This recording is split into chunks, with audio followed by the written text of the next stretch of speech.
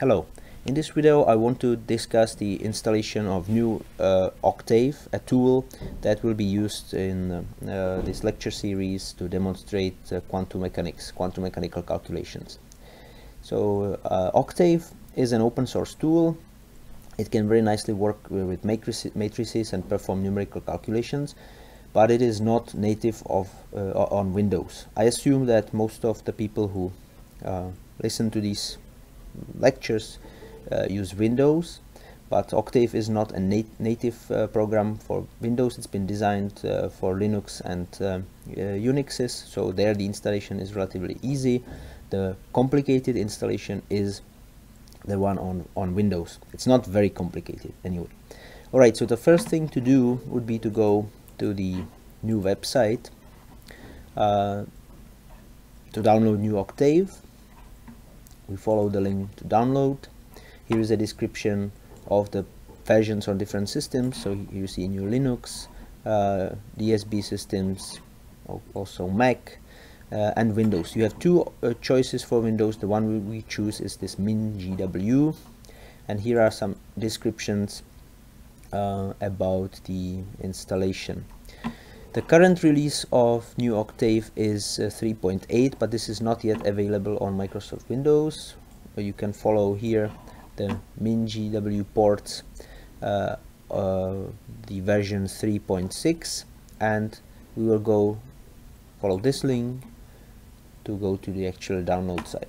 So here there are four files to download, two small ones, the readmes, you can actually ignore this capital readme and then packages and the uh, octave itself. Actually uh, for our purposes you can also ignore the packages. So if you download the octave itself it's going to appear in your well downloads directory. Uh, there is one uh, thing that might be a little bit nasty here. If you click on it you get to a website which looks like you have to fill some information. You don't have to fill anything just wait a little while and save this save this file. I have already done that so I will say cancel and I will go to my downloads directory.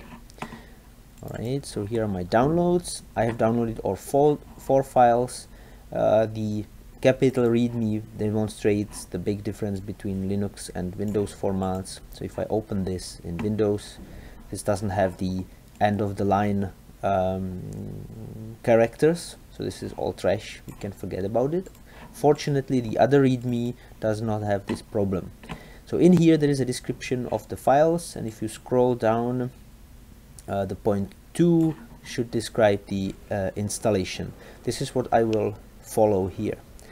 Well one thing that is a little bit unfortunate here is also that unless you already use the 7-zip you have to install the the 7-zip tool. It's actually a great tool can be it has its own website of course. There it can be downloaded and its installation is very very simple.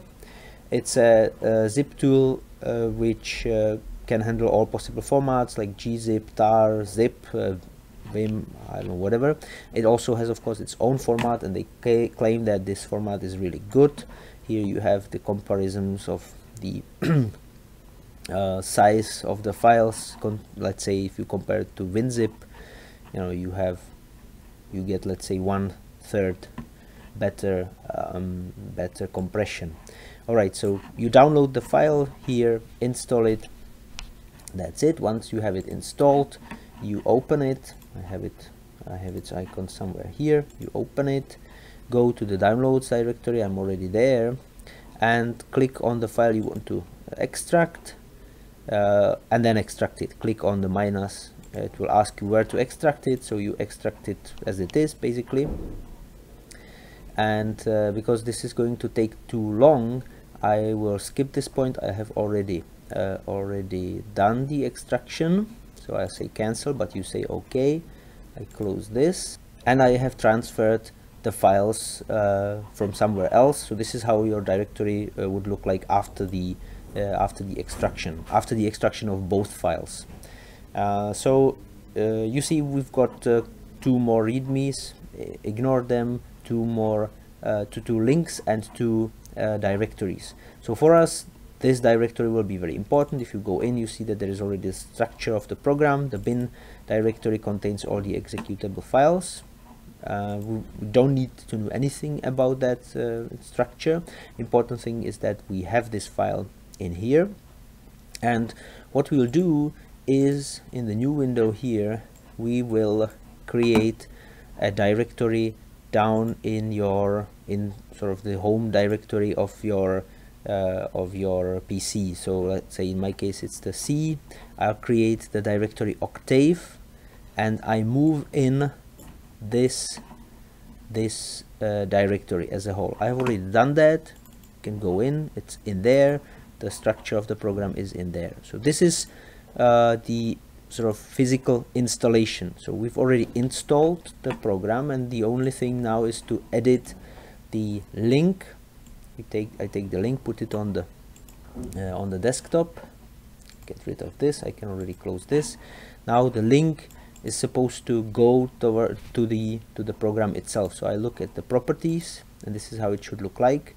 C octave that's where the directory we created. This is the directory we uh, we put in and this is the bin so that's where it should start. But more important is up here. If you look this should follow the same suit. So C octave this long octave name bin and then octave exe executable. There is also minus i and uh, line editing option. This has to be left in because of some bug in uh, the port uh, to the Windows 8 so once we have this done we can click on the on, on the shortcut and Octave will start so this is going to take a while actually quite a long while for the first time it might take a really really long while Octave is not this slow normally, but I think this has something to do with uh, with porting it on uh, on Windows. Concerning calculations, it's fine. Running anything that uses the graphical interface is not that good. So now the Octave has already started. I can uh, type the pwd print working directory uh, command, uh, which tells me that I'm in C users Thomas. That is in my own directory alright this is all so enjoy Octave